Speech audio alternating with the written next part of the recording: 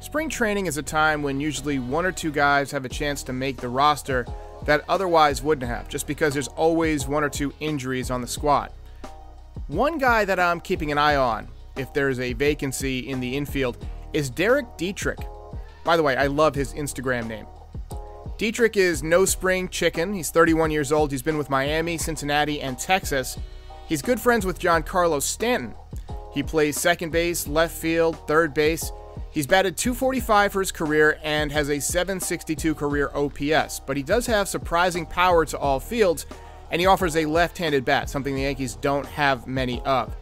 I find this to be an interesting move because if you look at his defensive numbers, they're not great, and he's hit just 187 each of the past two years.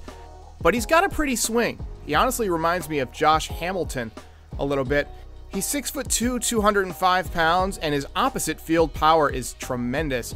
He could actually go oppo at Yankee Stadium as a lefty, no problem, which is something that you don't see often. Most guys are just shooting for that right field porch. So pitchers are going to have to pitch him carefully if he ends up on the roster. Do you cede to his power and pitch him away, or do you take the chance of going inside and hoping that he's not looking to pull the ball over that short right field fence? He gives opposing pitchers a real problem in Yankee Stadium. The Yankees have a dearth of left handed bats, so Dietrich might be a depth piece. It's entirely possible, though, that the Yankees see something in his swing like they did with Gio Urshela, where they can turn his obvious power into more consistent power, possibly off the bench. He doesn't play shortstop, so you'd basically have to carry an extra infielder. But the Yankees have a number of guys who can play all over the diamond, so he fits that mold. I'm really interested to see what Dietrich can do this spring.